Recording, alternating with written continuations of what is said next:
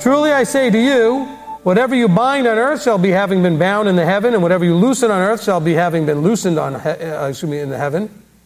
And again I say to you that if two of you agree on earth concerning any matter that they ask, it shall be done for them by my Father in the heavens. For where two or three are gathered together in my name, there I am in their midst. Now let's, let's really understand this section because, man, if there's a section that's misused and misquoted and abused, it's this thing.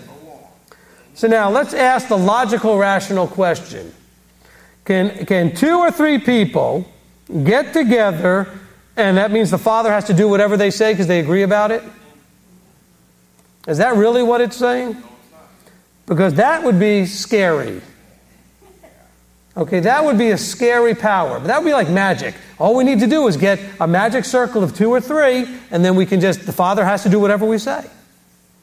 No, look what it says. Let's get the context. First of all, the context goes back to the beginning of the chapter. We're talking about being humble and being in His authority. And now it says here, look, you, the you he's talking about who are doing the binding and loosing, are the ones that are at the end of this where he says, Those who are gathered in my authority are the ones who are doing the binding and loosing.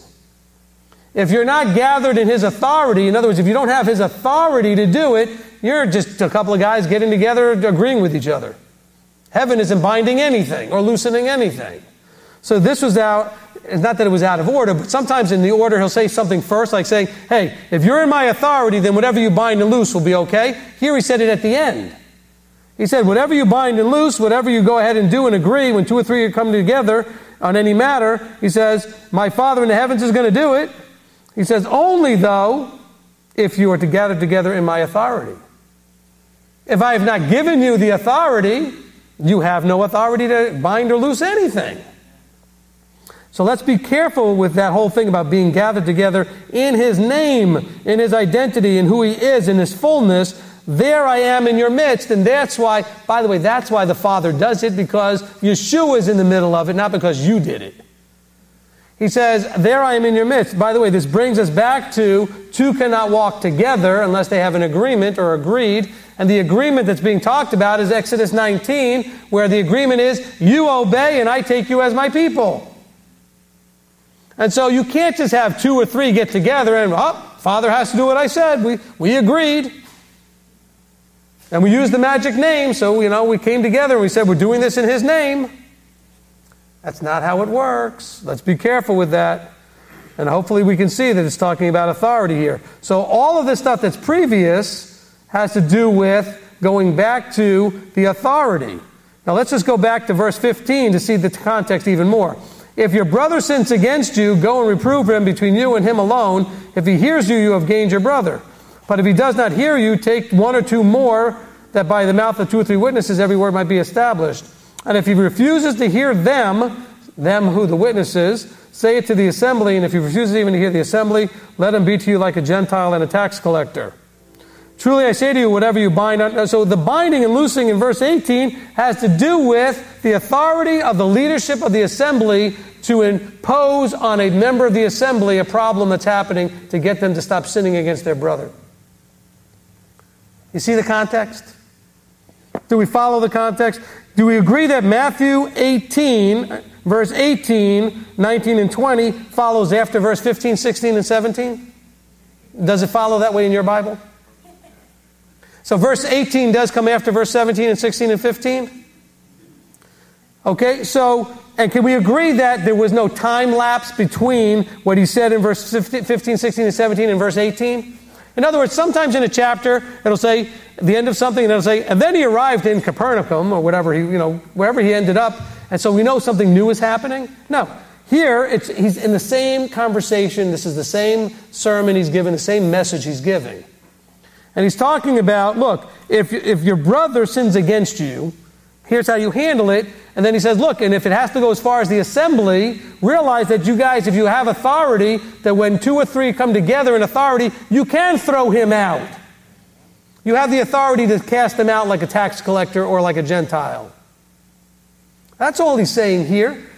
Oh, no. People want to pull this little soundbite out and say, oh, well, look, as wherever two or three are gathered together, there is his name. And that's what they'll use as, as an excuse for where they go together to keep the feasts and stuff. Hey, I don't need to go any place where there's an assembly. As long as there's two or three to gather together, there he is. That's not what it says.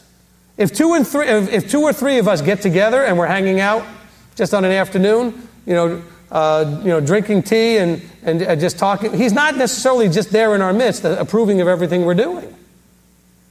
Now, yes, Big Brother is watching us, and he is watching all the time, and Yahweh is everywhere and all the times, and uh, you know, seeing and doing. But that doesn't mean he's there endorsing every little thing we talk about and everything that we're doing. We are just gathered together because we're just gathered together. He's talking about in the context of authority here. We have a man who's sinning against his brother. He won't hear his brother. He won't hear the witnesses. And then he comes to the assembly. What is the problem here? Submission to authority. And so Yeshua is now talking about it from the position of authority. When two or three in authority are gathered together in my authority, what they bind or loose, by the way, doesn't this kind of sound like Deuteronomy? When it talks about when you go before the judges and the priests, and you better listen to what they have to say because they have authority to bind and loose, so to speak. Okay, in Deuteronomy 17 and let's say verse 11. Okay? Let's see if I want to go a little further. Let's go to verse 8. So in Deuteronomy 17, 8, it says, When any matter arises which is too hard for you to judge, between blood and blood, between plea and plea, or between stroke and stroke, matters of strife within your gates, that you shall rise up and go to the place where Yahweh your Elohim chooses, and shall come to the priests, the Levites, and to the judge who is in those days, and shall inquire. Is that not a lot like Matthew 18? He says, And they shall declare to you the word of right ruling. So who's declaring the word of right ruling? Your best friend who you got on the phone with and, and, and started talking to about the situation? Another member of the congregation who you want to talk to, all the gossiping that's going back and forth. No. You go to the authority, to the judges, to the priests, to the Kohanim. Who would that be today? The congregational leadership? And you inquire, and they will declare to you the word of right ruling. And you shall, listen, verse 10, you shall do according to the word which they declare to you from that place which Yahweh chooses. And you shall guard. Now bear in mind, this is all based on this being a place Yahweh chose and anointed, appointed leadership. If you don't believe that leadership is actually there, why are you here anyway? I'm just being blunt. If it's not, if you go someplace and the pillar of the fire, the pillar of the cloud, whatever is not there, the anointing is not there, why do you go? Go find the anointing. And if you know what, that's why some of you drive two or three hours. It's worth driving a few hours to be where there's an anointing. So why wouldn't you do that? I know people are going to be listening and saying, oh, Rabbi's out of control now with his ego, thinking he's so special. No, I'm saying if I was you, I'd do the same thing. I'd go find where the anointing is, and I would drive as far as I had to drive to go be where it is. So this isn't about me. I'm just, this is a point about what this is talking about. So look what he says here.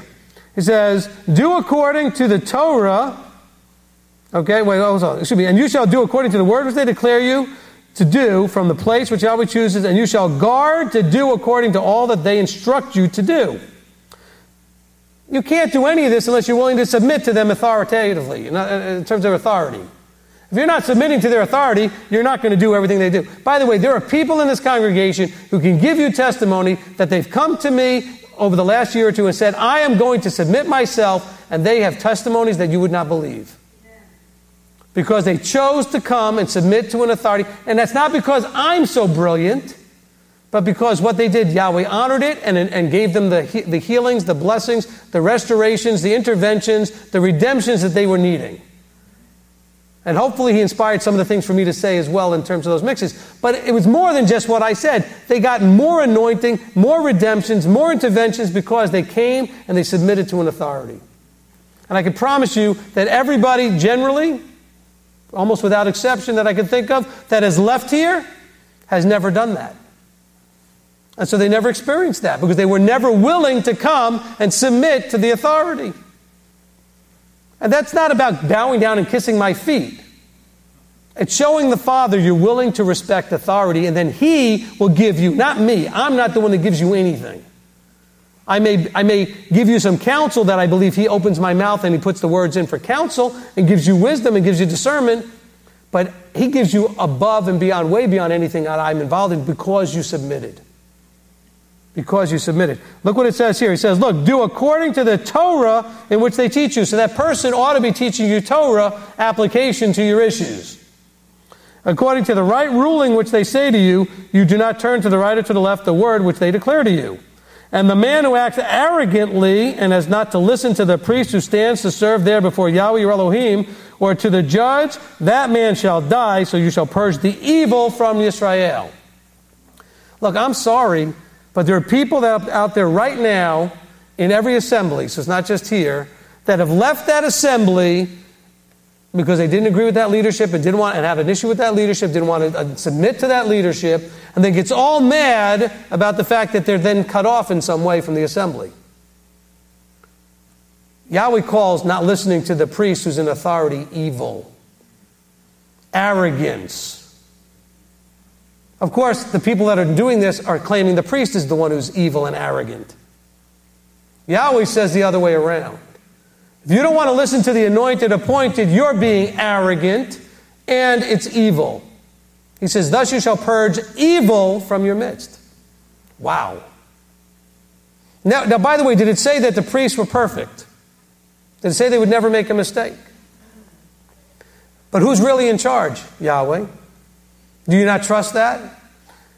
And again, if you don't believe that I'm an anointed appointed, we'll just use me as an example because obviously I'm the one speaking. If you don't believe I'm an anointed appointed, well, then you shouldn't be here. But then don't complain about not being here and there in a way. I mean, look, either you're a part of this or you're not. Either you're submitted to this or you're not. Is that fair? And I, and I think that's where, you know, people want to have their cake and eat it too. Well, I want to do whatever I want, but I, and I don't want to submit to your authority, but I want to be welcomed and in as if I'm just wonderfully loved and family at the same time. And this is not the way it says. It says that that behavior is evil and it needs to be purged. I'm sorry, but Yahweh's that blunt, not me. And everybody gets mad at me like I'm so harsh and cold. And, and uh, where's the, we just don't feel the love, Rabbi, from you. Do you read this? Anybody want Rabbi Moses?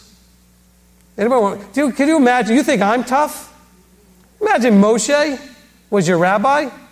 Do you think he's going to be having lunch with all of you and just being the, the socialite of all of, uh, of all time, just hanging out, being just. I don't think so. You know why? Because he knew that this was life and death. And you know what? I hopefully you understand that I know it's life and death. And that I speak what I speak because I'm crying aloud and sparing not because I don't want you to die. Do you understand that that's my cry? That it breaks my heart that you guys, there's too many people just wanting to be coddled. Grow up. I mean, I hate to be so blunt. Because some of you that need to be coddled, who are acting like you need to be coddled, are in your 60s, in your 50s, in your 70s, and you know, enough is enough. This isn't a game. Okay, this is no game. This is life and death. Yeshua came to bring a sword. If you're not paying attention, you're going to get sliced up.